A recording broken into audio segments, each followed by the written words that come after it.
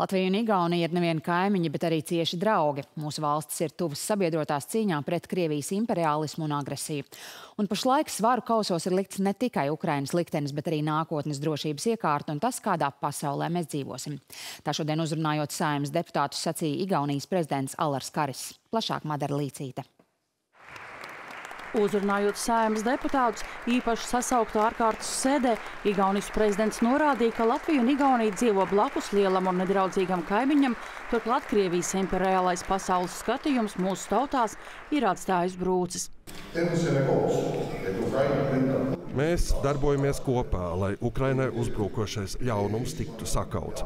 Mēs darām darbu, lai mūsu sabiedrības un partneri būtu aizvien moži un blakus Ukrainai un šaubīgās valstis sajustu, ka Krievijas agresijas gadījumā uz spēles likts arī viņu pašu liktenis.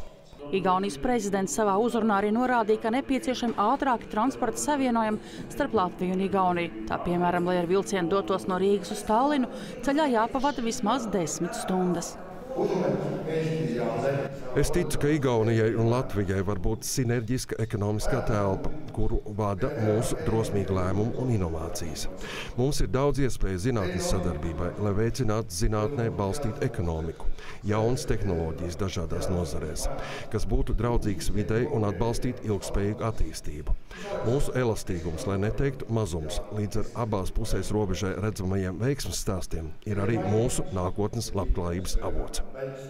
Karis apsveic Latvijas lēmumu atjaunot obligāto militāro dienestu, kas neapšaubām vēl vairāk nodrošinās Latvijas valsts aizsardzību caur lielāku rezervistu, armiju un plašāku pilsoņu iesaisti.